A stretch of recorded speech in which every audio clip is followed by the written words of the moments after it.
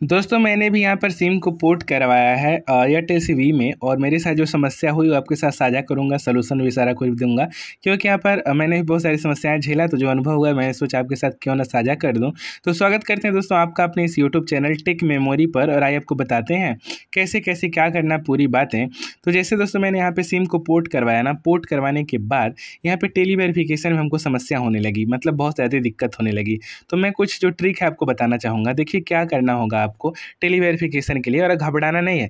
देखिए, पोर्ट करवाने के बाद सबसे पहले तो चार तीन से चार दिन लग जाता है हमारे यहाँ पे जब पुराने वाले सिम में नेटवर्क गायब होता है तो नए वाले सिम में हमारा नेटवर्क आ जाता है, सिम चालू हो जाता है और सिम हम लोग लगा लेते हैं। सिम लगाने के बाद जब उनसठ ज़ीरो उनसठ पर कॉल करते हैं टेली वेरिफिकेशन के लिए तो टेली वेरिफिकेशन हो ही नहीं पाता बिकॉज़ कॉल नहीं लग पाती है। तो इसमें देखिए ट्रिक अपनाना है आपको, ट्रिक क्या अपनाना है? देखिए, जब आप यहाँ पे अपने मोबाइल में सिम लगा रहे हैं, सिम लगाने के बाद जब नेटवर्क आ जा रहा है तो एक घंटे आधे घंटे के लिए वैसे ही फ़ोन को छोड़ दीजिए। उसके बाद फिर अपने फ़ोन को स्विच ऑफ़ करिए और स्विच ऑफ़ करने के बाद चालू करिए। फिर उनसठ ज़ीरो उनसठ पर कॉल करेंगे तो पूछेगा कि हिंदी के लिए एक दबाएँ इंग्लिश के लिए दो दबाएँ तो आपको एक दबाना है हिंदी के लिए, ठीक ना?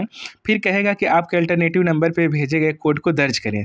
तो आपको बताना चाहूँगा दोस्तों कि आपका जो मतलब आप गए होंगे सिम वगैरह लेने तो वहाँ पर एक नंबर मांगा होगा तो नंबर आप दिए होंगे तो उस पर एक ओटीपी आया होगा, पाँच अंक का होगा।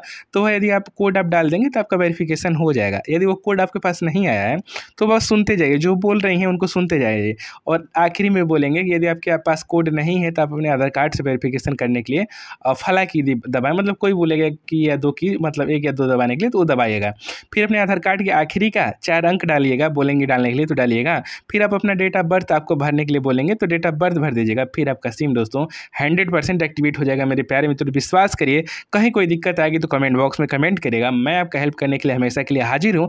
ज़रूर हेल्प करूँगा आपको। तो मिलते हैं फिर किसी और नई वीडियो में नई जानकारी के साथ। तब तक के लिए दोस्तों आप लोग अपना ख्याल रखिएगा। बाय बाय दोस्तों।